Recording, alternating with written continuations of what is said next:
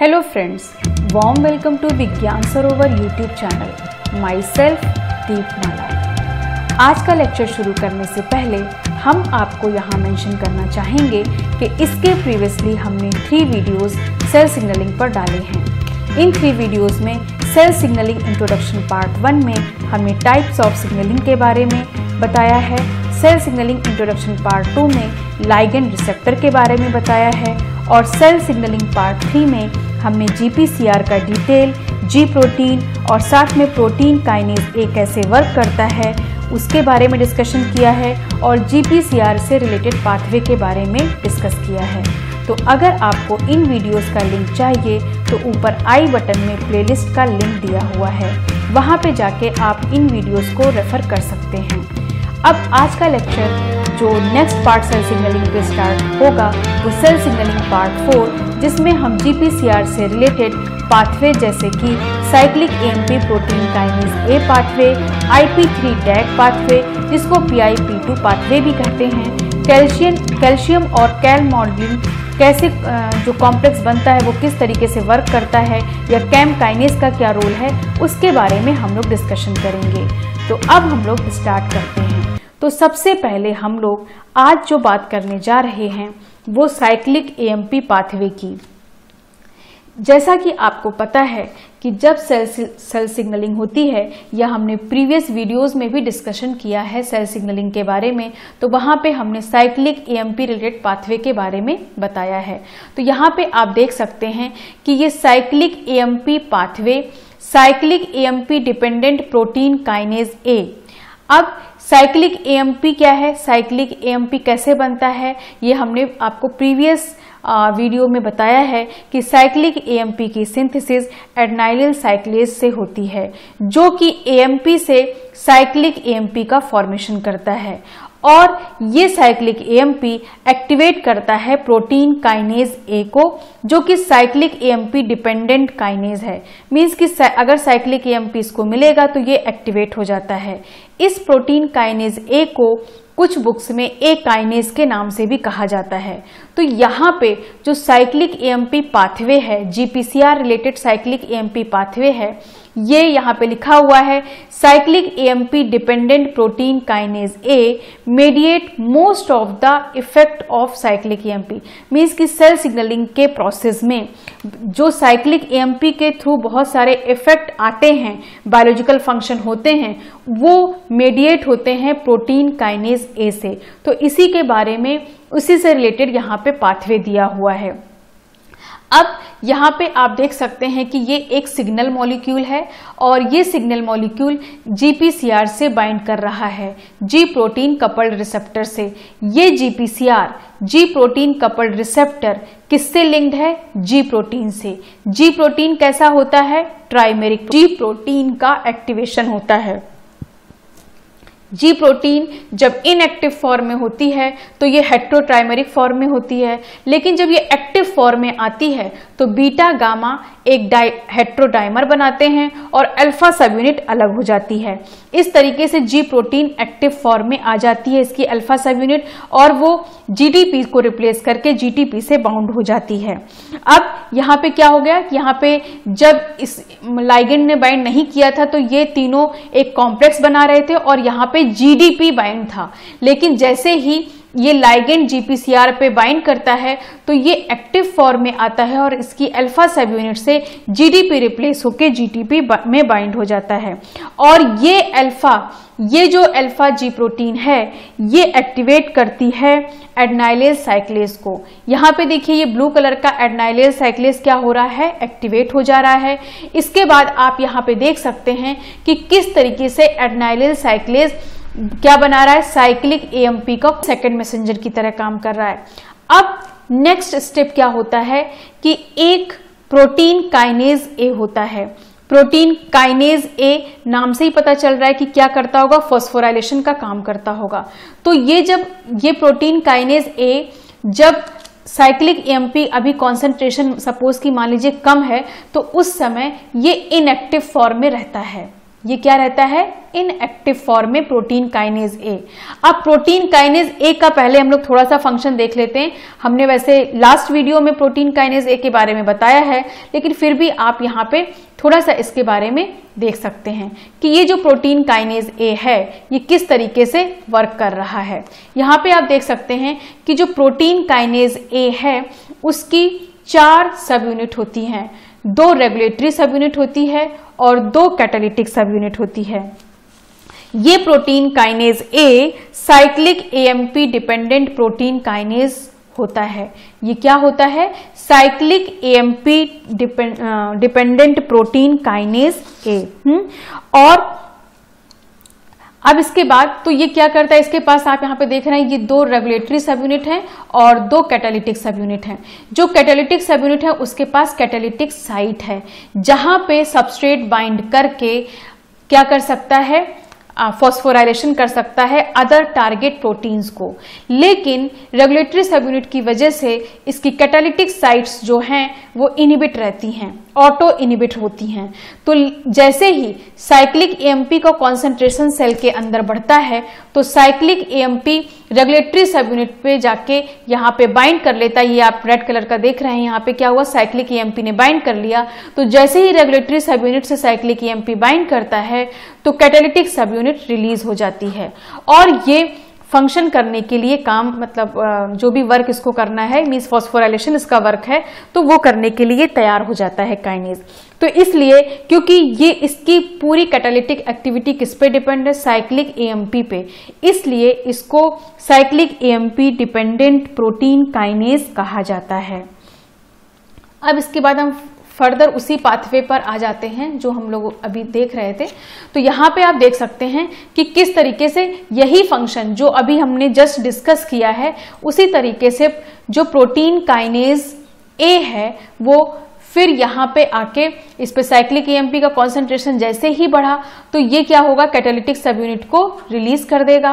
और कैटालिटिक सब यूनिट जब रिलीज़ हो जाती है, ये एक्टिव होके फ्री होके मीन्स की फॉस्फोकाइनेज ए की कैटालिटिक सब यूनिट फ्री होती है एक्टिव फॉर्म में आती है और एक्टिव फॉर्म में आने के बाद न्यूक्लियस के अंदर माइग्रेट करती है। और साइटोसॉल से कहा आ गई? न्यूक्लियस के अंदर आ गई। न्यूक्लियस के अंदर माइग्रेट करके बहुत सारे जीन को फॉस्फोराइलेट करती है, जो कि रेगुलेटरी प्रोटीन बनाते हैं। मीन्स की अब यहाँ पे आप देख सकते हैं कि ये जो भी catalytic subunit active form में है, ये अंदर आई। आने के बाद यहाँ पे आप देख रहे हैं कि एक यहाँ पे लिखा हुआ है सी आर ई सी आर ई ये ये जो सीक्वेंस दिख रहा है, ये क्या है? सी आर ई सीक्वेंस इसका फुल नेम होगा साइक्लिक एएमपी रिस्पॉन्स एलिमेंट इसको हम लोग बोलते हैं साइक्लिक एएमपी रेस्पॉन्स एलिमेंट इसके बाद अगर हम लोग यहाँ पे दूसरा जो मॉलिक्यूल यहाँ पे आप देख रहे हैं इसका नाम क्या दिया हुआ है? यहाँ पे जो ये आ, ये आप देख रहे हैं एक ये पिंक कलर का आपको जो दिख रहा है प्रोटीन इस प्रोटीन का नाम है क्रेब ये क्रेब इनएक्टिव फॉर्म में रहता है। ये क्रेब प्रोटीन न्यूक्लियस के अंदर प्रेजेंट है। हुँ? हम्म, ये इनएक्टिव फॉर्म में रहता है। हुँ? हम्म, ये एक्चुअली में मीन्स कि ये क्या कर सकता है? स्क्रैब का अगर हम फुल नेम देखें तो ये होता है cyclic AMP response element binding protein अब तो ये क्या हो? सीआरई बाइंडिंग प्रोटीन हो गई। ये सियारी बाइंडिंग प्रोटीन न्यूक्लियस में पड़ी हुई है, लेकिन ये इनएक्टिव फॉर्म में है। जैसे ही catalytic subunit protein kinase A की अंदर आती है तो ये क्या होता है कि ये इसको फॉस्फोराइलेशन कर दिया जाता है, ये येलो कलर का फॉस्फोराइलेशन हो गया और ये एक्टिव फॉर्म में आ गई। फिर एक को एक्टिवेटर आता है। उस को एक्टिवेटर का नाम है सीबीपी सीबीपी का फुल नेम हो जाएगा CREB binding protein C R E B binding protein तो अब ये जब को एक्टिवेटर आता है तो इस तरीके से अब जीन अपना ट्रांसक्रिप्शन शुरू कर दे, देता है और वेरियस पाथवे के एक्सप्रेशन को इंक्रीज करता है। फॉर एग्ज़ाम्पल जैसे कि पेप्सी के एंजाइम का एक्टिवेशन कर देगा हम्म मतलब जीन का सिंथेसिस शुरू कर देगा। तो पेप्सी के जब जीन का सिंथेसिस होने लगेगा तो ग्लूकोज की सिंथेसिस होने लगेगी। तो इस तरीके से ये काम करता है। एक बार आप फिर से इसको समझ लीजिए कि यहाँ पे सिग्नल मॉलिक्यूल है। सिग्नल मॉलिक्यूल जैसे ही लाइट रिसेप्टर पे आके बाइंड करता है तो ये क्या करता है? इसमें कन्फर्मेशन चेंज होते हैं जीपीसीआर में और जी प्रोटीन को एक्टिवेट कर देता है। जी प्रोटीन जब एक्टिव फॉर्म में होती है तो उसकी अल्फ़ा सब यूनिट से जीटीपी बाउंड होता है। GTP bound alpha subunit active active form में है और इसीलिए इस जी प्रोटीन को G protein alpha GS protein कहा जाता है या alpha G protein stimulatory protein बोलते हैं इसको। और ये एक्टिवेट करती है एडनाइलेस साइक्लेस को, क्योंकि ये एडनाइलेस साइक्लेस को एक्टिव कर रहा है। इसलिए इसको स्टिमुलेटरी जी प्रोटीन कहा जाता है। और एडनाइलेस साइक्लेस का काम है साइक्लिक ईएमपी का फॉर्मेशन करना एएमपी से। और जैसे ही साइक्लिक एमपी का फॉर्मेशन होता है तो प्रोटीन काइनेज एक्टिव फॉर्म में आ जाता है। जब प्रोटीन काइनेज एक्टिव फॉर्म में आता है तो ये जो कैटालिटिक सब यूनिट है प्रोटीन काइनेज ए की, ये न्यूक्लियस के अंदर माइग्रेट करती है और इनएक्टिव क्रेप को क्या कर देती है? एक्टिव फॉर्म में कैसे फॉस्फोराइलेशन करके? जब फॉस्फोराइलेशन करता है, ये एक्टिव फॉर्म में आता है तो ये जो क्रेप बाइंड रिस्पॉन्स एलिमेंट है, वहाँ पे जाके ये बाइंड करता है और इसके बाइंड होने के बाद एक को एक्टिवेटर प्रोटीन आती है और ट्रांसक्रिप्शन शुरू हो जाता है। और वेरियस पाथवे जो कि साइक्लिक एएमपी और प्रोटीन काइनेज ए पे डिपेंडेंट हैं, वो एक्टिवेट हो जाते हैं मीन्स कि उनके जीन एक्सप्रेशन शुरू हो जाते हैं। जैसे कि एग्ज़ाम्पल के तौर पे हम लोग देख सकते हैं कि एक हार्मोन होता है सोमैटोस्टेसिन जिसको सोमैटोस्टेटिन जिसको हम लोग बोलते हैं ग्रोथ इनिबिटिंग हार्मोन मींस की क्या है? कि जो ग्रोथ हार्मोन को इनबिट करे उस हार्मोन को आ, हम लोग सोमैटोस्टेसिन बोलते हैं और ये किसके थ्रू वर्क करता है? जीपीसीआर और क्रैप के थ्रू मींस क्रैप इस प्रोटीन के थ्रू या फिर कुछ ऐसे इंडोक्राइन सेल्स होते हैं जो कि long term memory memory brain में जनरेट करते हैं उनके पाथवेज को एक्टिवेट कर देना या फिर आ, जो भी ग्लूकोज सिंथेसिस करना ग्लूकोनियोजेनेसिस के प्रोसेस में तो इस तरीके के पाथवे सब इसी साइक्लिक ईएमपी डिपेंडेंट पाथवे से एक्टिवेट होते हैं। अब यहाँ पे देखिए लिखा है कि साइक्लिक एएमपी क्योंकि यहाँ पे आप देख रहे हैं कि साइक्लिक एएमपी का कॉन्सेंट्रेशन जब ज़्यादा है तभी ये पाथवे आगे बढ़ेगा। तो साइक्लिक एएमपी कब पाथवे बढ़ेगा, कब नहीं बढ़ेगा, कैसे कंट्रोल किया जाएगा? तो साइक्लिक एएमपी को रेगुलेट करने के लिए दो चीज़ें होती हैं। एक एडनाइलिल साइक्लेज होता है, जो कि साइक्लिक एएमपी की सिंथेसिस करता है। दूसरा क्या है? साइक्लिक एएमपी फॉस्फो क्या है? फॉस्फोडाइस्ट्रेस का काम है साइक्लिक एएमपी से एएमपी का फॉर्मेशन करना। हुँ? तो इस तरीके से इसको रेगुलेट किया जाता है। साथ में यहाँ पे आप देख रहे हैं कुछ पॉइंट्स लिखे हुए हैं कि इस तरह के पाथवे के लिए, जैसा कि हमने अपने प्रीवियस वीडियो में आपको बताया है कि जीपीसीआर भी डिफरेंट नाम से होते हैं डिफरेंट डिफरेंट लाइगेंड के लिए डिफरेंट डिफरेंट जीपीसीआर के नाम होते हैं। तो जैसे कि यहाँ पे जो साइक्लिक एएमपी डिपेंडेंट जीपीसीआर या काइनेस पाथवे चलता है, उसके लिए जो रिसेप्टर है वो बीटा एडनर्जिक रिसेप्टर है। और यहाँ पे जो जी प्रोटीन इन्वॉल्व होती है, वो जीएस अल्फ़ा है क्योंकि हमने पहले ही बताया है जीएस अल्फ़ा इसलिए कह रहे हैं क्योंकि ये एटनाइलेस साइक्लेस को एक्टिवेट कर दे रही है और साइक्लिक ईएमपी का फॉर्मेशन हो रहा है इसलिए इसको स्टिमुलेटरी कहा गया क्योंकि साइक्लिक ईएमपी का कॉन्सेंट्रेशन बढ़ रहा है हुँ? हम्म? तो इस तरीके से आपको इस पाथवे के ये मेन मेन पॉइंट्स भी याद रखने हैं कि इसके लिए रिसेप्टर क्या रिसेप्टर तो ये जीपीसीआर ही है लेकिन इसका रिसेप्टर क्या हो सकता है? क्या नाम है? बीटा एडनर्जिक रिसेप्टर और जो जी प्रोटीन लिंक्ड है, वो जी एस अल्फ़ा है। अब हम लोग GPCR related I P three DAG pathway को देख लेते हैं, जिसको हम लोग P I P two pathway भी कहते हैं। सबसे पहले हम यहाँ पे मेंशन करना चाहेंगे कि जो यहाँ पे जीपीसीआर दिया हुआ है, उसको इस पाथवे के लिए अल्फ़ा टू एडनर्जिक रिसेप्टर कहा जाता है। मीन्स की जीपीसीआर के लाइगेंड के, या सिग्नल मॉलिक्यूल के अकॉर्डिंग या पाथवेज के अकॉर्डिंग उस रिसेप्टर के नाम चेंज हो सकते हैं। बट उसकी कैरेक्टरिस्टिक्स सेम रहती हैं। और जो यहाँ पे जी प्रोटीन होती है, यहाँ पे इस पाथवे में जो जी प्रोटीन पाई जाती है, वो फॉस्फोलाइपेज सी बीटा को एक्टिवेट करती है। इसलिए यहाँ पे जो जी प्रोटीन पाई जाती है, उसको जी क्यू अल्फ़ा प्रोटीन कहा जाता है। और ये किसको एक्टिवेट करती है? फॉस्फोलाइपेज सी बीटा को। अब हम लोग इस पाथवे को देख लेते हैं। सबसे पहले जीपीसीआर जीपीसीआर एक्टिवेट होता है। किसके थ्रू एक्टिवेट होता है?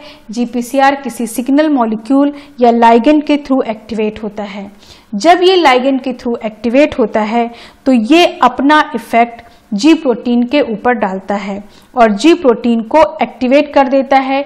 जी प्रोटीन की G Q alpha subunit activate हो जाती है, क्योंकि ये प्रोटीन पहले ट्राइमेरिक फॉर्म में रहती है और जैसे ही लाइगेंड रिसेप्टर से बाइंड करता है कन्फर्मेशनल चेंज होता है तो यहाँ पे जो ट्राइमेरिक प्रोटीन होती है, एक डाइमर और अल्फ़ा सब यूनिट अलग हो जाती है। अल्फ़ा सब यूनिट पहले जीडीपी से बाइंड होती है और जब ये एक्टिव फॉर्म में आती है ऑन फॉर्म में आती है तो ये बाइंड कर लेती है किससे? जीटीपी से। हुँ? तो इस तरीके से ये काम करती है। अब ये जी क्यू अल्फ़ा प्रोटीन जो है, ये membrane bound enzyme phospholipase C beta को एक्टिवेट कर देती है। अब फॉस्फोलाइपेज सी बीटा जो है मेम्ब्रेन पे पाए जाने वाला, जैसे कि आपको पता है कि मेम्ब्रेन फॉस्फोलिपिड का बना होता है। तो मेम्ब्रेन के फॉस्फोलिपिड में एक phospholipid P I P two होता है, जिसको कहा जाता है phosphatidyl inositol four five bis phosphate phosphatidyl inositol four five bis phosphate ये पीआईपी2 मेम्ब्रेन में पाया जाता है। ये मेम्ब्रेन की इनर लीफलेट में पाया जाता है। इनर लीफलेट में पाया जाता है। लिपिड बाइलेयर की इनर लीफलेट में पाया जाता है। ये दो कंपोनेंट से मिलके बना होता है। इसको, इस पूरे स्ट्रक्चर को पी आई पी टू कहा जाता है। इसका ये स्ट्रक्चर जो दिख रहा है, इसको डैग बोला जाता है और इस स्ट्रक्चर को आई पी थ्री कहा जाता है। डैग का फुल नेम है डाई एसाइल ग्लिसरॉल और आईपी थ्री का नाम है inositol one four five triphosphate ये आपके एग्ज़ाम में इसका फुल नेम भी पूछा गया है। Inositol one four five triphosphate three अब इसके बाद ये फॉस्फोलाइपेज सी इस फॉस्फोलिपिड को क्लीव करके दो सेकेंड मैसेंजर सेकेंडरी मैसेंजर बनाते हैं, एक डैग और दूसरा आईपी थ्री दो मैसेंजर का फॉर्मेशन होता है। ये जो मैसेंजर है, ये सिग्नल लेके जाता है और ये क्या करता है कि ये इंडोप्लाज्मिक रेटिकुलम पे जो ligand gated calcium ion channel होता है, उसके रिसेप्टर पे जाके बाइंड करता है और इस चैनल को ओपन कर देता है। तो IP3 gated calcium ion channel open हो जाता है और इस तरीके से इंडोप्लाज्मिक रेटिकुलम से कैल्शियम आयन रिलीज़ होने लगते हैं। और जब कैल्शियम आयन रिलीज़ होते हैं तो फर्दर और पाथवेज मीन्स की इंट्रासेलर कैल्शियम आयन इंक्रीज होने की वजह से बहुत सारे काइनेजेस और फॉस्फेटेज एक्टिवेट हो जाते हैं। और बायोलॉजिकल फ़ंक्शन परफॉर्म होने लगते हैं। तो इस तरीके से इस इसको बोला जाता है आईपी थ्री पाथवे ये पाथवेज ये जो कैल्शियम आयन है, ये बहुत इंपॉर्टेंट रोल प्ले करता है। बहुत सारे फ़ंक्शन में, जैसे कि slow block to polyspermy in sea urchin या फिर जो कॉर्टिकल ग्रेन्यूल रिएक्शन होती है, वहाँ पे कैल्शियम आयन का बहुत इंपॉर्टेंट रोल होता है। तो बहुत सारे ऐसे बायोलॉजिकल फ़ंक्शन परफॉर्म होते हैं। दूसरी तरफ़, जो डैग होता है डैग क्या करता है? डैग जो होता है, ये एसोसिएटेड रहता है प्लाज्मा मेम्ब्रेन से। जबकि IP3 रिलीज़ हो जाता है। तो डैग जो एसोसिएटेड डैग है, ये क्या करता है? फॉस्फोटाइडल सीरीन जो कि मेम्ब्रेन का ही कंपोनेंट होता है। फॉस्फोटाइडल सीरीन ये भी इनर लीफलेट में पाया जाता है। फॉस्फोटाइडल सीरीन कैल्शियम आयन और ये कैल्शियम आयन कहाँ से मिल रहे हैं? ये कैल्शियम आयन जो IP3 पाथवे से रिलीज़ होते हैं। तो ये यहाँ पे आप देख रहे हैं कैल्शियम आयन है। तो फॉस्फोटाइडल सीरीन डैग और कैल्शियम आयन ये सब मिलकर एक्टिवेट करते हैं प्रोटीन काइनेस सी को। और प्रोटीन काइनेस सी जब एक्टिवेट हो जाता है तो ये भी एक तरीके का सीरीन थ्रियोनिन काइनेज होता है मीन्स कि ये उन प्रोटीन को एक्टिवेट कर देता है, जिनके पास सीरीन थ्रियोनिन रेजिड्यू पाए जाते हैं। और इस तरीके से वेरियस पाथवेज एक्टिवेट हो जाते हैं, जो कि बायोलॉजिकल फ़ंक्शन को परफॉर्म करते हैं। तो इसको कहा जाता है I P three DAG pathway या फिर इसको P I P two pathway कहते हैं। एक बार हम फिर से बता दे रहे हैं जीपीसीआर का एक्टिवेशन होता है जी प्रोटीन एक्टिवेट होती है जी प्रोटीन का G q alpha protein phospholipase C को एक्टिवेट करती है फॉस्फोलाइपेज सी PIP2 को ब्रेक करते हैं क्लीव करके ये दो कंपोनेंट बनाते हैं, एक IP3 रिलीज़ होता है IP3 लाइगेंड गेटेड जो ये चैनल होता है, कैल्शियम आयन चैनल होता है आई पी थ्री गेटेड ये यहाँ पे जाके रिसेप्टर पे बाइंड करके इस चैनल को ओपन करते हैं और इस तरीके से कैल्शियम आयन बाहर आते हैं। जब कैल्शियम आयन बाहर आते हैं तो इंट्रासेलुलर कैल्शियम आयन बढ़ जाता है और इस तरीके से बहुत सारे परफॉर्म होने लगते क्योंकि साइटोसॉल में कैल्शियम आयन का कॉन्सेंट्रेशन बढ़ जाता है। दूसरी तरफ़ जो मेम्ब्रेन बाउंड डैग था, वो भी सेकेंड मैसेंजर की तरह काम करता है। ये फॉस्फोटेरिसिन कैल्शियम आयन और आ, के साथ मिलके प्रोटीन काइनेस सी को एक्टिवेट कर देता है और इस तरीके से ये फ़ंक्शन करते हैं। यहाँ पे जो रिसेप्टर होता है उसको अल्फ़ा टू एड्रेनर्जिक रिसेप्टर कहा जाता है और इसको जो जी प्रोटीन इन्वॉल्व होती है जो कि फॉस्फोलाइपेज सी बीटा को एक्टिवेट करती है उसको जी क्यू अल्फ़ा कहा जाता है। अब इसके बाद हम लोग आगे देखते हैं कैल्शियम कैल मॉडलिन कॉम्प्लेक्स जो कि बहुत इंपॉर्टेंट रोल प्ले करता है। Calcium calmodulin complex calmodulin एक ऐसी प्रोटीन है जो कि बाइंड करती है कैल्शियम आयन से और तभी वो एक्टिवेट हो पाती है। तो कैल मॉडलिन एक 16 टू 17 किलो डाल्टन की प्रोटीन होती है? हम्म, ये प्रोटीन मीन्स कि अगर इंट्रासेलुलर कैल्शियम आयन बढ़ गया तो बहुत सारा कैल्शियम आयन का इफ़ेक्ट किसकी वजह से होता है? कैल मॉडलिन की वजह से होता है।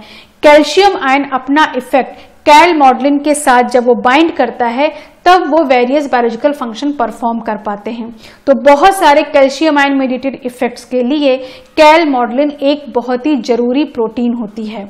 और ये कैल, कैल मॉडलिन कैल्शियम दोनों बाइंड करके एक कॉम्प्लेक्स का फॉर्मेशन करते हैं जिसके थ्रू फ़ंक्शन परफॉर्म होता है। ये कैल मॉडलिन कब एक्टिवेट होती है या कब ये फ़ंक्शन करती जब ये कैल्शियम आयन से बाइंड करती है। अब यहाँ पे कैल मॉडलिन कहाँ से नाम आया? Calmodulin calcium modulated protein से इसका नाम आया है। यहाँ पे जो रेड पोर्शन दिख रहा है, ये कैल से के लिए लिया गया है। मॉडू, जो ये मॉडुलेट लिया गया है, ये इसका इस पोर्शन से लिया गया है और प्रोटीन का इन लिया गया है। इस तरीके से इसको कैल्शियम मॉडुलेटेड प्रोटीन कहा जाता है। शॉर्ट में इसको कैल मॉडलिन कहा जाता है।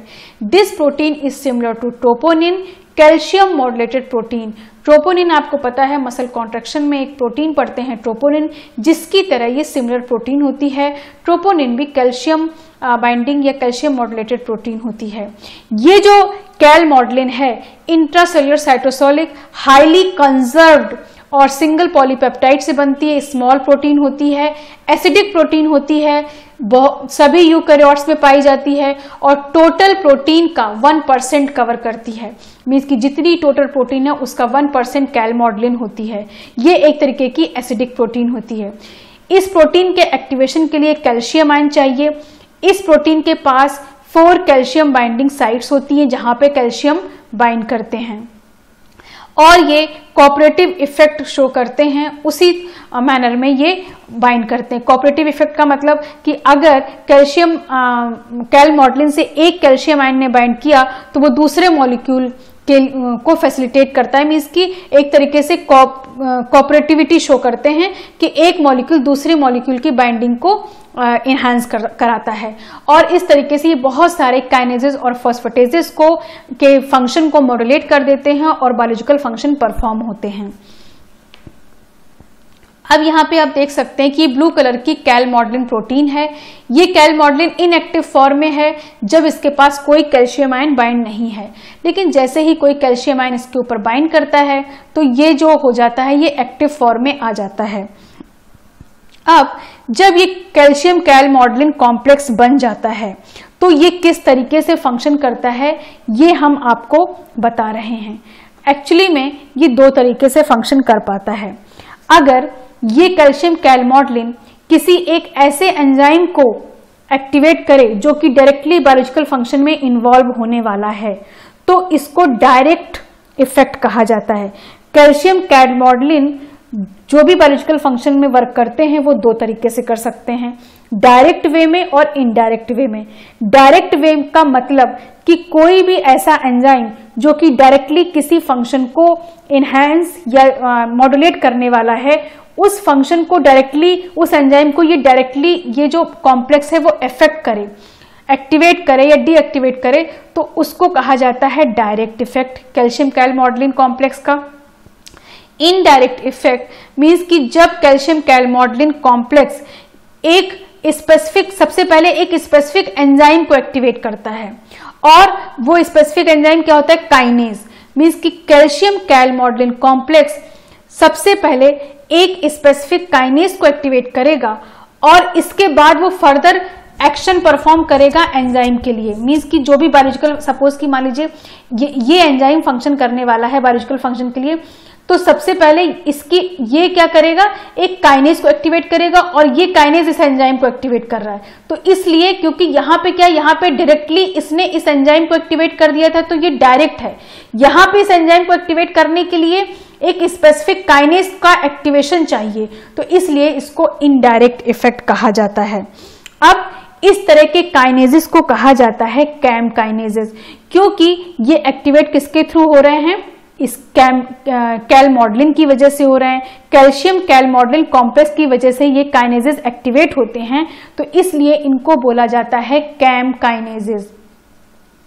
हम्म? इसको बोला जाता है कैम काइनेजेस। और कैम काइनेजेस में जो सबसे स्पेसिफिक काइनेजेस, कैम काइनेजेस होते हैं, वो कैम काइनेजेस टू होते हैं। ये कैम काइनेजेस टू जो हैं वो मोस्ट ऑफ़ द एनिमल में पाए जाते हैं और नर्वस सिस्टम इनरिस्ड होता है कैम काइनेज टू से। तो अभी हम आपको बताएँगे कि कैम काइनेज टू कैसे फ़ंक्शन भी परफॉर्म करता है। पहले हम लोग थोड़ा कैम काइनेज के बारे में जान लेते हैं।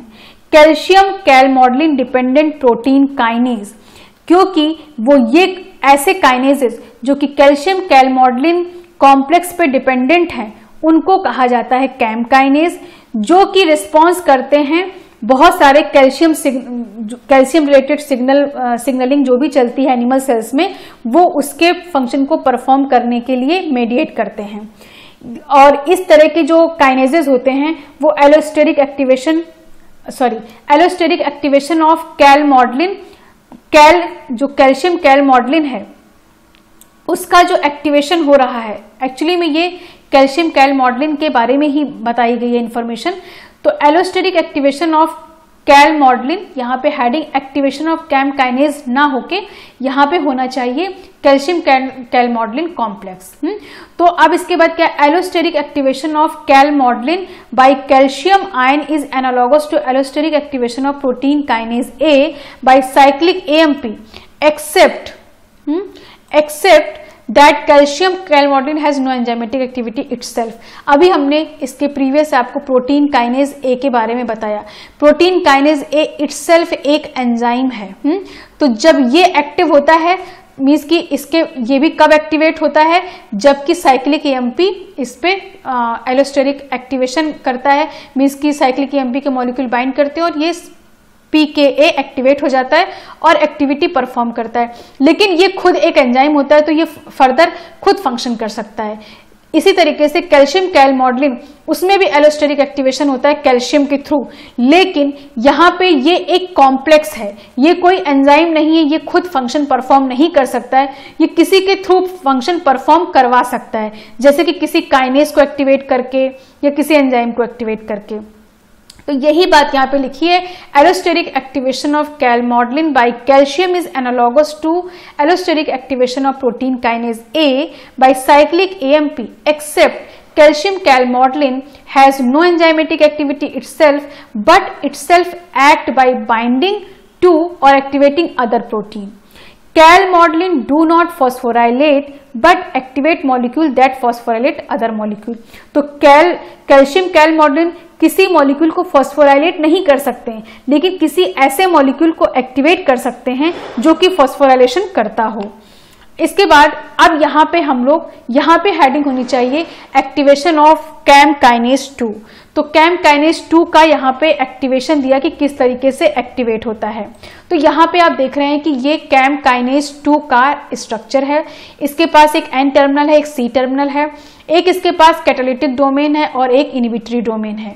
अब यहाँ पे जैसे कैल्शियम कैल मॉडलिन कॉम्प्लेक्स आता है तो ये एक्चुअली में ये ऐसा काइनेज है जो कि calcium calmodulin dependent kinase है। ये फ़ंक्शन तभी करेगा जब कैल्शियम कैल मॉडलिन इस पर आके बाइंड करता है। तो क्योंकि इसके पास एक इनिबिटरी डोमेन है तो इसने अपने फ़ंक्शन को इनिबिट कर रखा है। ये काइनेज है, लेकिन ये फॉस्फोरिलेशन नहीं कर पा रहा है। अब इसके बाद यहाँ पे जब कैल्शियम कैलमॉडलिन का कॉम्प्लेक्स आता है तो इसकी इनिबिटरी डोमेन पे बाइंड कर लेता है। जैसे ही इसकी इनिबिटरी डोमेन पे बाइंड करता है, ये एक्टिवेटेड फॉर्म में आता है और इसके बाद ये ऑटो फॉस्फोराइलेशन करता है अपनी ही सब यूनिट को।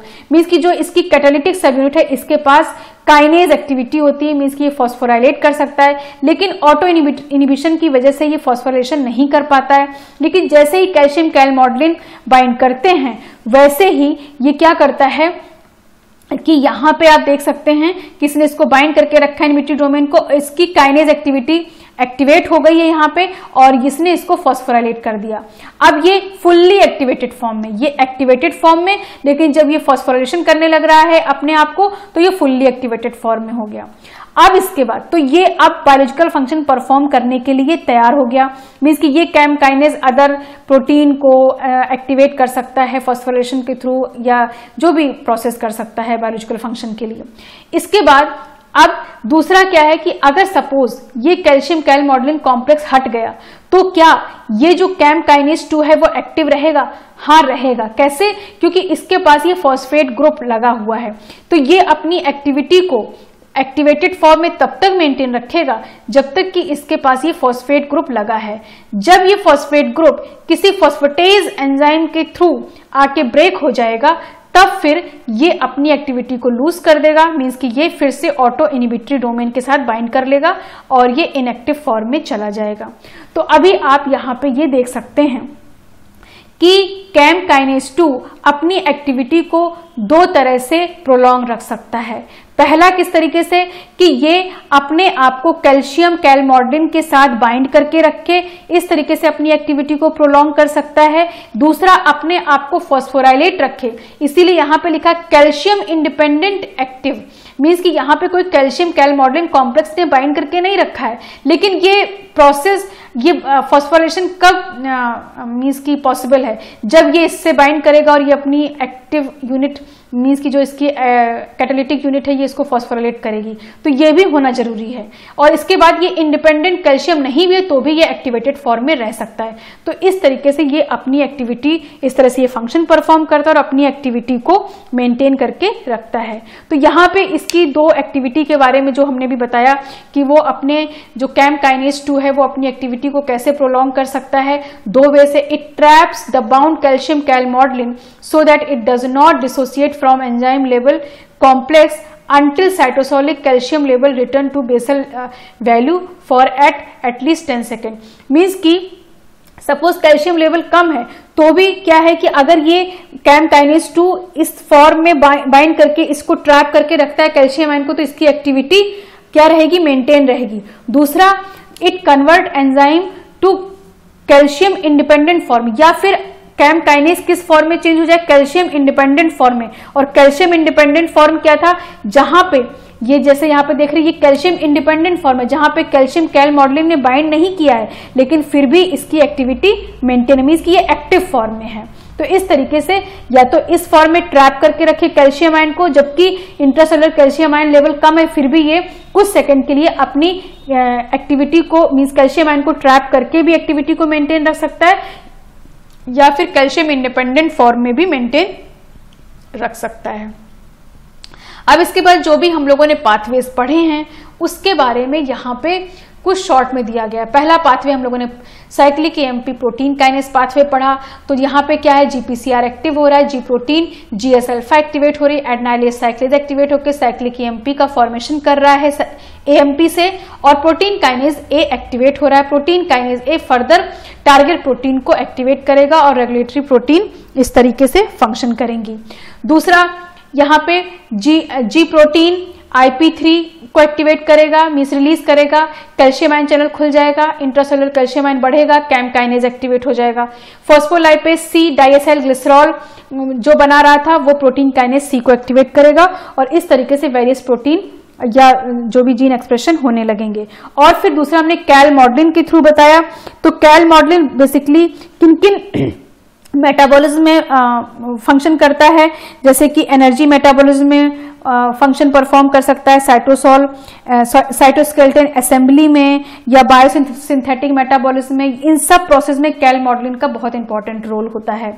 अब इसके बाद और यहाँ पे हमने इन पाथवेज में कहाँ कहाँ पे फ़ंक्शन कर सकता है? जैसे सोमैटोस्टेसिन हार्मोन के बारे में हमने बताया, या फिर कैल्शियम आयन में हमने बताया कि सी अर्चिन में किस तरीके से स्लो ब्लॉक टू पॉलिस्पर्मी होती है। तो इस तरह के ये पाथवेज बायोलॉजिकल फ़ंक्शन परफॉर्म करते हैं। अब हम लोग यहाँ पे कुछ क्वेश्चन देख लेते हैं। In cell having G protein couple receptor Inhibition of protein kinase A by siRNA technology led to diminished transcription of androgen binding protein ABP and CREB binding protein. Addition of cyclic AMP which is messenger second messenger will lead to अब देखिए सबसे पहले क्या हो रहा है GPCR कह रहे हैं एक्टिव हो रहा है, जी हाँ पहले क्या बोल रहे हैं? जीपीसीआर क्या करता है? जी प्रोटीन को एक्टिव करता है। जी प्रोटीन से क्या होता है? जी प्रोटीन से एडनाइलेज साइक्लेज का एक्टिवेशन होता है, ये मेम्ब्रेन बाउंड एंजाइम होता है, और इसके बाद साइक्लिक एएमपी का फॉर्मेशन होता है। Cyclic AMP protein kinase A को एक्टिवेट करता है और फर्दर जो भी ट्रांसक्रिप्शन या रिलेटेड पाथवे चलते हैं। अब यहाँ पे कह रहे हैं कि S I R N A means की एक साइलेंस करने वाली टेक्निक जीन को साइलेंस करने वाली टेक्निक है। S I R N A के थ्रू उस प्रोटीन काइनेस के, को इनिबिट कर दिया गया। इस प्रोटीन काइनेस को S I R N A के थ्रू क्या कर दिया गया? इनिबिट कर दिया गया। मीन्स की किसका एक्सप्रेशन नहीं हो रहा है। अब अब इसके बाद और ये जो प्रोटीन काइनेज ए है, किसको एक्टिवेट किसके ट्रांसक्रिप्शन को करता था? एबीपी और क्रेब प्रोटीन को। अब ये जब बनी नहीं रहा है तो क्रेब और एबीपी का फॉर्मेशन नहीं हो पाएगा। अब सपोज़ हम साइक्लिक एएमपी का कॉन्सेंट्रेशन बढ़ा देते हैं तो क्या तो क्या हो सकता है? अगर हम साइक्लिक एएमपी का कॉन्सेंट्रेशन बढ़ा भी देते हैं तो क्या अगर यहाँ पे मान लीजिए मैं इसका कॉन्सेंट्रेशन हाई कर दिया, इसके कॉन्सेंट्रेशन हाई होने के बाद प्रोटीन काइनेज ए एक्टिव होता है और फिर ट्रांसक्रिप्शन होता है एबीपी और क्रेप का, मान लीजिए क्रेप एक्टिवेट हो जाता है। लेकिन जब यही नहीं है, जब ये प्रोटीन काइनेज ए ही नहीं है तो हम कितना भी साइक्लिक एमपी बढ़ाएँ, क्या ये प्रोसेस हो सकता है? नहीं हो सकता है। तो increase transcription of ABP ABP का ट्रांसक्रिप्शन इंक्रीज हो सकता है? नहीं हो सकता है, क्योंकि यहाँ पे प्रोटीन काइनेज ए है ही नहीं, जो कि एबीपी के एक्सप्रेशन के लिए रिस्पॉन्सिबल था। Increase phosphorylation of CREB protein kinase A CREB को फॉस्फोराइलेट करता है। अब भले ही साइक्लिक ईएमपी कितना भी हो, लेकिन प्रोटीन काइनेज ए नहीं, है ही नहीं तो किसको, कौन एक्टिवेट होगा और किसको एक्टिवेट करेगा? तो इसलिए ये भी नहीं हो सकता है। No change in transcription level transcription level पे कोई चेंज नहीं होगा। Increase ATPase activity of G alpha subunit क्या साइक्लिक एएमपी का कॉन्सेंट्रेशन बढ़ाने से इसकी एक्टिविटी बढ़ जाएगी? ऐसा बिल्कुल नहीं है, क्योंकि इसकी एक्टिविटी बढ़, जब ये एक्टिव फॉर्म में आता है तो एडनालिस साइक्लिस को बढ़ाता है और तब साइक्लिक एएमपी बढ़ता है। तो इसके कॉन्सेंट्रेशन बढ़ाने से ऐसा नहीं पॉसिबल है कि इसकी एक्टिविटी बढ़ जाए। इसकी एक्टिविटी से ये बढ़ता है। तो इसलिए ये भी ऑप्शन हमारा नहीं होगा। तो हमारा ऑप्शन क्या होना चाहिए? No change in transcription level अब इसके बाद हम लोग नेक्स्ट देखते हैं the effect of release of IP during signal transduction pathway is जब आईपी का पाथवे चलता है मीन्स आईपी थ्री के थ्रू जो भी रिलीज़ होता है आईपी थ्री जो हमने भी आपको आईपी थ्री डैक पाथवे बताया तो उस पाथवे के थ्रू क्या क्या हो सकता है? Closure of calcium ion channel in ER हमने अभी आपको पाथवे बताया, वहाँ पे कैल्शियम आयन चैनल क्या हो रहे थे? ईआर का ओपन हो रहा था। तो इसलिए ऑप्शन होगा increase intracellular calcium ion calcium ion का कॉन्सेंट्रेशन इंट्रासेलुलर बढ़ सकता है। साइटोसोल में ये हो सकता है। Increase of extracellular cell के बाहर का सपोज़ ये सेल है सेल के बाहर कैल्शियम आयन बढ़ जाएगा। ऐसा तो नहीं होता। सेल के अंदर साइटोसोल में कैल्शियम आयन का कॉन्सेंट्रेशन बढ़ता है। In activation of calmodulin जब कैल्शियम आयन का कॉन्सेंट्रेशन बढ़ता है तो कैल मॉडलिन तो कैल्शियम बाइंडिंग प्रोटीन है तो उसका तो एक्टिवेशन ही होना है। तो इसलिए हमारा ऑप्शन क्या हो जाएगा? Increase in intracellular calcium ion channel बाकी सारे ऑप्शन रॉन्ग हैं। इसके बाद फिर नेक्स्ट देखते हैं which one of the following event never activate G protein couple receptor for sequestering calcium release कि इनमें से कौन सा ऐसा प्रोसेस है जो कि कभी जी प्रोटीन से कैल्शियम आयन की सिक्वेस्ट्रिंग को रिलीज़ करने, जो कैल्शियम आयन छुपा हुआ है, उसको रिलीज़ करने के लिए G protein couple receptor participate नहीं कर सकता है। Interaction of bind to sperm हमने अभी आपको बताया कि जब सी अर्चिन का, हम आपको फर्टिलाइजेशन या डेवलपमेंटल बायोलॉजी के जब सीरीज़ चलेंगे तो वहाँ पे आपको बताए जाएँगे फर्टिलाइजेशन के बारे में तो वहाँ पे कैल्शियम आयन का क्या रोल है, वहाँ पे बताया जाएगा। तो वहाँ पे ये एक बहुत इंपॉर्टेंट रोल प्ले होता है activation of frizzled by W frizzled एक डेवलपमेंटल पाथवे है सिग्नलिंग का तो वहाँ भी कैल्शियम आयन का इन्वॉल्वमेंट होता है।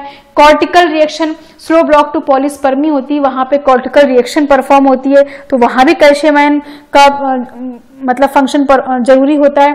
अब the synthesis DNA synthesis and nuclear envelope breakdown तो यहाँ पे कैल्शियम आयन की ज़रूरत नहीं होती है। तो क्या हो जाएगा हमारा? DNA synthesis and nuclear envelope breakdown बाकी सारी चीज़ों में कैल्शियम आयन का इन्वॉल्वमेंट होता है। अब इसके बाद हम लोग यहीं पे इस लेक्चर को एंड करते हैं। अगर आपको इस वीडियो का, इस लेक्चर का अगर आपको पीडीएफ चाहिए तो आप हमारे टेलीग्राम चैनल को फॉलो कर सकते हैं। डिस्क्रिप्शन बॉक्स में इसका लिंक दिया हुआ है। और इसी के साथ हम यहीं पे एंड करते हैं। अगर आपको हमारा वीडियो पसंद आया हो और आपने अभी तक हमारे चैनल को सब्सक्राइब नहीं किया है तो प्लीज़ चैनल को सब्सक्राइब करें। शेयर करें लाइक करें कमेंट करें. Thank you very much